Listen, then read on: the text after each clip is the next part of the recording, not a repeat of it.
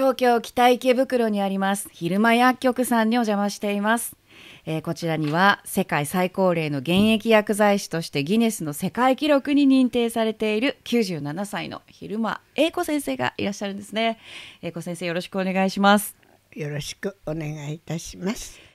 心配。心配とは心を配ること相手の代わりに何かをやってあげるっていうこととか相手に変わることを期待することじゃありません。あこれってなんかすごいシンプルだけどふって腑に落ちたというか、なんか心配してあげるっていうのはすごくいいことだみたいな感覚がね、まあ、基本的にあると思うんですけど心配とは心を配ることだから代わりに何かをやってあげることじゃないし心配してなんかああした方がいいわよこうした方がいいわよっつってこう相手に変わった方がいいっていうふうに期待することでもないんだ。じゃあ心配って何なのかっていうとそのエコ先生は声をかけることだって書いてくださってるんですよね。それが一番だと思うの。そうすると相手の方も、あのそんなに心に残らないし、はい。あ軽く考えてくれるから、はい。その大元に考えないで、えあそうかそんなに難しく考えない方がいいなっていう風に変わっていくんじゃないかなと思ってるんだけど、違うかな？いやそう思います、私実はこちらの薬局にあの処方箋持って伺ったことがあるんですね。ねえさっきね。そうなんですよ。偶然近くに住んでいた時期がありまして、その時風邪ひいて病院行って処方箋もらって、うん。でこちらに伺った時にすごいす私泣きそうになったんですその時。なんでかっていうとあれは多分その英子先生の息子さんの嫁さんこの本の中にも出てくるきみこさんだと思うんですけど、さっきのね。そうさっきお会いした、うん。うん。でそのきみこさんが「あの風邪ひいたの?」って「熱どれくらいあんの?」って言って。で「ちゃんと食べてる?」って、うん。あ大丈夫食べてるってなら大丈夫よ」っつって「元気出してね」って。そんな感じで、うん。そのゆ声をかけてくださったんですまさに。それで私薬局に行ってそのなんていうか一人暮らしでね体が弱ってるとすごいこうなんかうなんこう落ち込むじゃないですか。うんうんそんな時になんか本当にその初めて会った方なのに自分のお母さんみたいにねうんそうやってこう声をかけてくれてすごいあったかい気持ちになったの。でなんかあ大丈夫だなって思えた。そうだね、うん。うんそういう言葉かけられるとね。そうなんですよ、うんだからなんか思い出すだけで涙出てきますけど、うん。なんか薬局に行って、そんなあったかい気持ちになったことって私自身は初めてのことででその本当になんだろうな声をかけてもらえるっていうことがこんなにあ人の心を温めてくれるんだっていうのをまさにここで体験した。だから心配っていうのは声をかけることっていうふうに英子先生がこう、ね、今聞かせてくださってそれが他のスタッフさんに受け継がれててでそれを実際こうやって体験させてもらった私がまたここに違う形でこうやって伺ってお話聞けてるっていうのはなんかその英子先生の思いがずっとこうやってつながって巡ってる感じっていうんですかね。なんかすごいそれってあありがたいっていうかね。嬉しいなって思います。うん。うん。あそういうことは忘れてはいけないな。本当ね、はい。うん。あみんな喜んでくださるんだものね。そういう本当嬉しいですよ。そういうこと言われて。誰もね、はい。お一人でいらしたんじゃなおのことだものね。お薬飲んだだけでうん。本当に早く良くなればいいけど薬は飲んだってすぐは良くならないしね、しかもね薬の効き方が変わると思いますあんな風に声かけてもらえると。効かない薬も効くかな。いやそうだと思いますね。本当に。だからきっとね英子先生がその処方あ処方昔だった処方ですよね。されたりとか今こうね薬をこう渡された患者さんってきっとね本当に元気になっていかれると思う。でそれはやっぱり人の思いだしそれがこ声をかけるっていうそれって何て言うんだろう一瞬でできることだしお金がいることでもないし誰にでもできるはずのことじゃないですか。だけど心にゆとりがないとできないと思うんですよね。英子先生ってその自分の心のゆとりってまたそんなの当たり前にあるのかもしれないんだけどこうどうやって自分で自分の心のゆとりってこう作ってらっしゃるんですか？別に作るっていうことではないもんね。そうなんですよね きっと聞きながらそうかなと思ったんですけど でも基本的に普段お会いする方は病気だったり、うん怪我されてたり元気がない方なわけじゃないですか。でで基本的に元気がない人と触れてると人ってやっぱりこう元気がなくなっていくことが多いと思うんですよね。でもそんな中で英子先生がこう元気を保たれているっていうのは別に特別なことをやってる感覚っていうのはないんですかね？特別にそんな変わったことやってたらそれは長続きするしないんじゃないかしらね。ううんな何事も普通に皆さんがやってると同じようなことをやってて、はいそれがあのお客さんや何かにもいつの間にか通じてる時もあるんだわねきっとね。英子先生がずっと続けてることって、うん。そのどんなことがありますか、まあ、でも自分がずっと続けてると当たり前すぎて気がつかないかもしれないですけど。そう。だけどそれをやらなければやっぱり前進めないじゃないですか。ずっと続けてることは、うんうんうん。だからそれを続けてるんじゃないですかね。ね、本の中にはなんかビールを飲むあそう。とか、はい、そういうお楽しみ？そうですね、うん。まあそんな程度。お仕事されてて一番嬉しい瞬間ってどんな瞬間ですか？やっぱし患者さんがあの薬難しい薬やなんか飲んで元気になって喜ぶその言葉が一番嬉しいですよね。元気になられなかなか大変な病気もあるんですよ。はい。あ治るかどうかな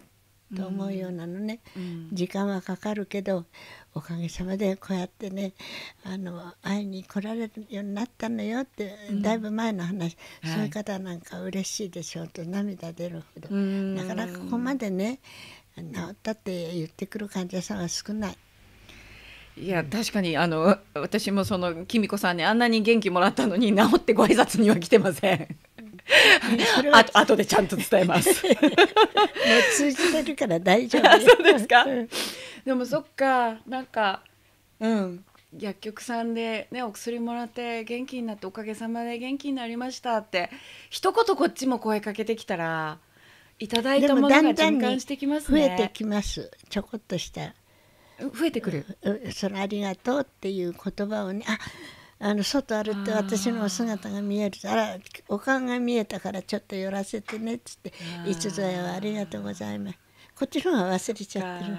嬉しいですよ、うん、やっぱり自分がそうやってお声掛けしてれば向こうもお声掛けをこうしたくななるんだろうなって今思いました。あのこれもですねあの最近の私たちの 疲れる生き方かなと思ったのは95ページですね。最近お客様と話していて思うのが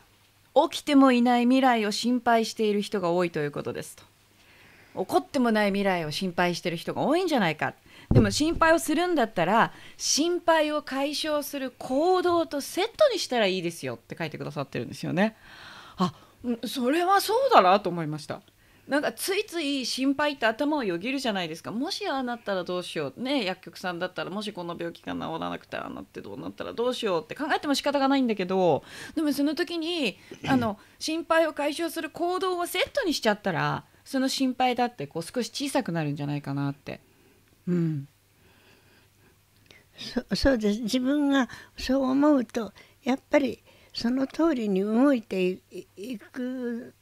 だと思います。そうなんですよね。うんそう思やっぱり悪く考えれば悪い方く。行っちゃうし、はいあこうすればきっと良くなるんじゃないかなっていうと、うんやっぱりそれはその通りに動いてくれる、はいで自分もその通りに反対しないでやっていかないとはいいけないんじゃないかなと思うわね。はい。自分が思う通りに細かいとこ見。てえ、何ですよか。く細かいとこ見てくださる。いえ、もうもう何回も読みました。はい。いやだって、うんその今の言葉もそうなんですけどね。自分が思ってる通りになっていくのよ。うんうんこれものすっごい実は大切で深くて重要なことだと思うんですよ。ということは自分が普段何を思っているのかっていうことに気がついてないと不安ばっかりの人は不安なことが起こっていくしで楽しいことばっかり考えてる人は楽しいことになっていくしそういうのをこう何て言うんですかは、まあ、流行りの言葉っていうか少し前の言葉ですけど引き寄せの法則とかってね言われたりしましたけどそんなことじゃなくて当たり前なんですよねその英子先生にとってそれは。思ってることはそのままそうなりますからねでこの本って「時間は薬」ってその英子先生にとっては当たり前のことが当たり前なんでさらって書いてあるんですけどこれめちゃくちゃ重要なことじゃないっていうことがいっぱい書かれてて私なんかね宝探しするように読ませてもらってるんです何回も。っていうのはなんか宝物ってあの私なんかやっちゃいがちなんですけどこれいいことだよみたいなのってちょっと声を大きくしたりとかあのここいいいいことですよって学校の先生だとここテスト出るよみたいな感じで強調して言いたくなるんですけど英子先生って大切なこともすごく当たり前のこととして実際にそれを生きていらっしゃるからこの本にもさらって書いてあるんですよ。それってなんかね宝物がうわーって道にいっぱい落ちてるのに落ちてるっていうか置いてあるのになんか気が付かないでスーって通れちゃうっていう。なんでかっていうと栄光先生にとって当たり前だから。だからこれはね私は誰でも読めるようにすごく優しく書いてあるんだけど宝物にあふれてる本だなって。だからその宝探しをするような気持ちで読みたいしみんなで読めたらすごくね気づきがいっぱいあるんじゃないかなって思ってます。ありがとうございます。ありがとうございます。私はあのまあそういうふうにおっしゃってくださると非常に嬉しいんですけど、はい、本当に分かりやすく書いてあるから、うん、なんか当たり前のことが多いから。いやでもね当たり前がね、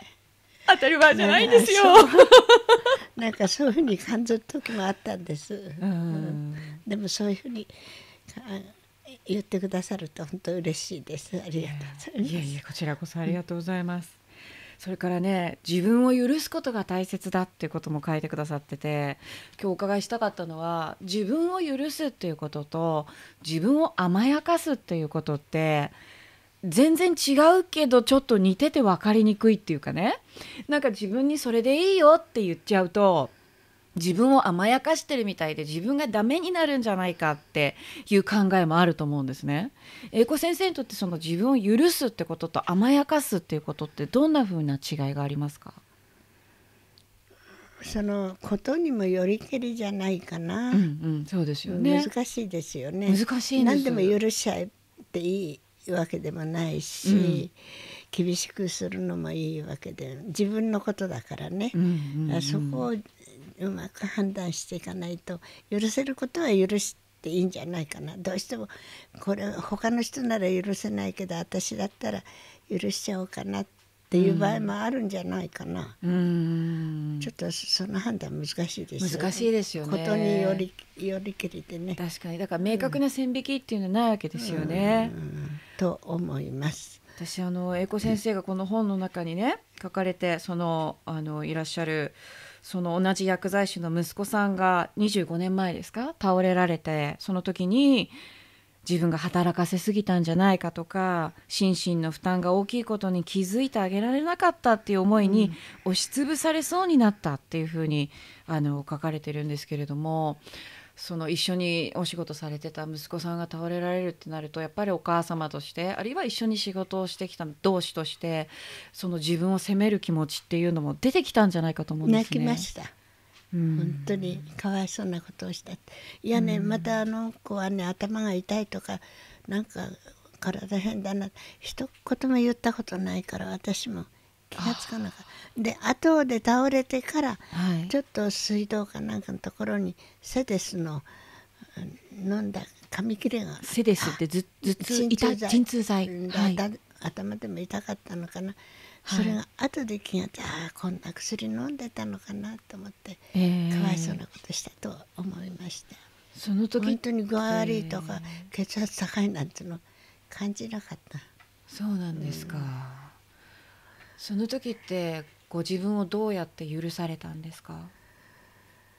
うんどうしてんだろうな。でもまああの人は病院入って、はい。まあ、あちこち病院行ったり来たりしあの信州の方の病院も行きましたしえね、えでもあの ICU、はい。ICU 治療室ですかね治療室あの救急車で行った時は日大行ったんですけどええ。あそこにね1ヶ月入院してたの、はい。全然意識が出なくて。じゃあ突然のことだったんですね倒れられてそれではい。あのー普通は ICU へ入るといいとこ1週間かええ1週間ぐらいでダメになるか生きられるかで病室も変わるの、はい。それあの人はず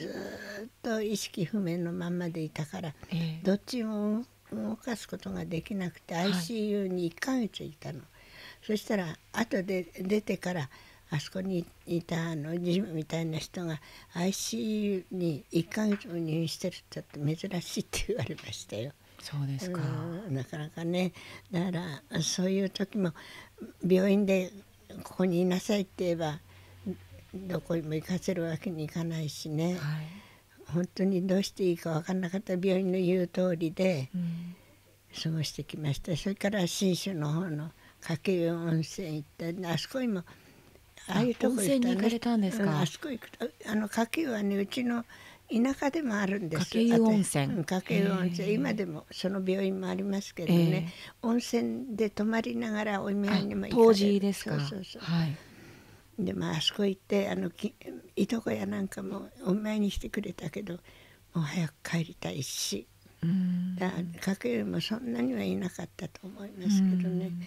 まあ、そういうことやらいやきっとその英子先生にとって一番許すことがむ自分を許すことが難しかったのはやっぱり息子さんが倒れられたことなんじゃないかなと思ってでやっぱりその家族に何かあった時ってみんな自分を責めちゃうと思うんですね。うちもあの先日母が、えっと、お風呂で溺死しちゃったんですよ。そうするとあの、まあ、ヒートショックだと思うんですけれども一緒にいた父がやっぱりもう少し早くその声をかけてあげられていたらっていうそのずっと自分を責めてるんですね。まあ、だけどねえあのそんなにお風呂に入った人に、大丈夫かなってしょっちゅう声をかけることの方がないですし父はちゃんとできることをやったっていくら周りが言っても、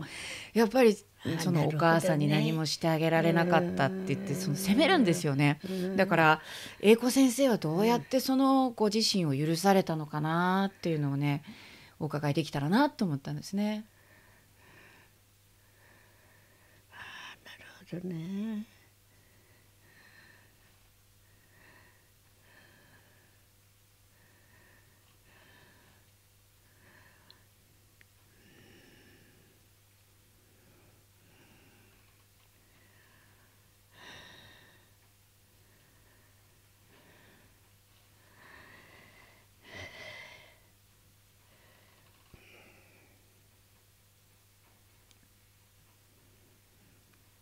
ちょっと言葉に詰まっちゃったなもう。うん。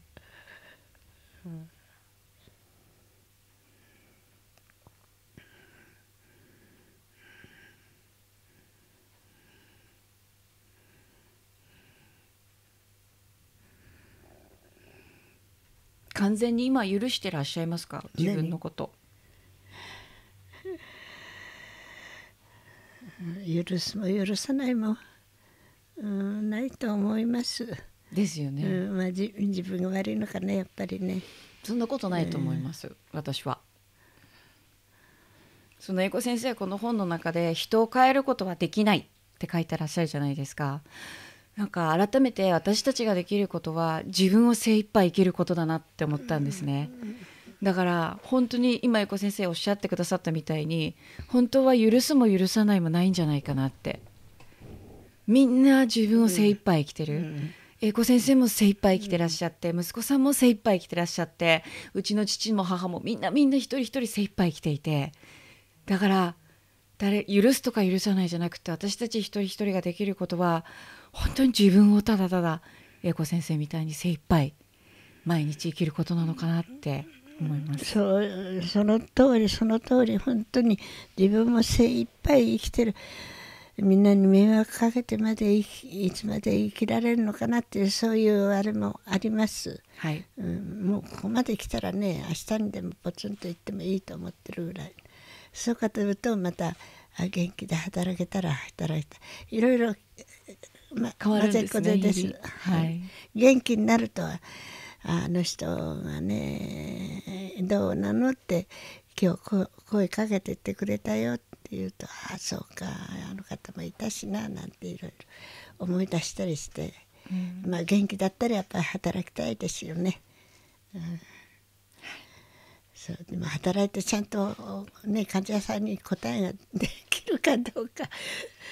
それはでもあれですよね。ええ。やっぱり自分が精一杯できることをやったら、うん。あとはもう本当に天にお任せするしかないのかなって、そうだね。はいまあそれもだんだんあ自分もちょっとおかしいかなっていうのも分かるか分かんないかわかあれだけど、まあ、周りの人もね分かるしね。今ほら